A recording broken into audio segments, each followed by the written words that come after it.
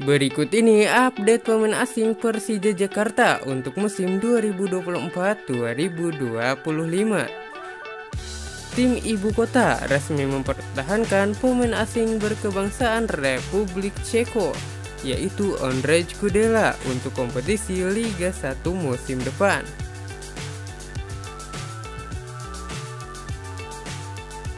Manajemen Persija pun resmi mempertahankan pemain asing berkebangsaan Kroasia yaitu Marko Simic untuk kompetisi Liga 1 musim depan.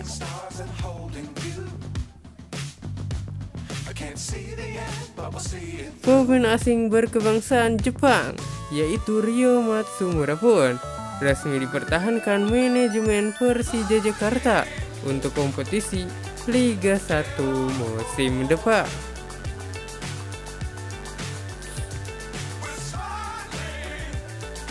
Pemain asing berkebangsaan Polandia pun yaitu Maciej Gazos ikut dipertahankan Persija Jakarta untuk kompetisi Liga 1 musim depan.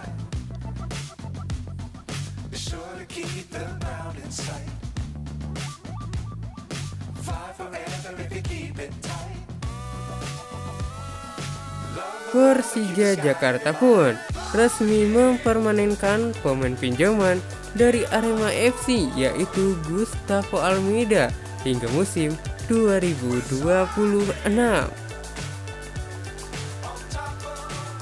Tim berjuluk Macan Kemayoran ini pun dikabarkan tengah bernegosiasi dengan pemain asing berkebangsaan Brazil berposisi bek tengah yaitu Renanda Alves untuk didatangkan pada bursa transfer Liga 1 musim ini. Tim ibu kota pun dikabarkan tengah mengincar pemain asing berkebangsaan Uruguay yaitu Mauro Fernandes untuk didatangkan pada bursa transfer Liga 1 musim ini. Mampukah Macan Kemayoran mendatangkan pemain berusia 26 tahun ini? Patut kita nantikan ya guys. Selanjutnya, tim berjuluk Macan Kemayoran ini dikabarkan tertarik untuk mendatangkan pemain asing milik Persis Solo, yaitu Musa Sidib untuk didatangkan pada bursa transfer Liga 1 musim ini. Tim ibu kota pun dikabarkan tertarik untuk mendatangkan mantan pemain timnas Spanyol yaitu Sergio Ramos. Saat ini Pemain berposisi bertahan ini berstatus tanpa klub.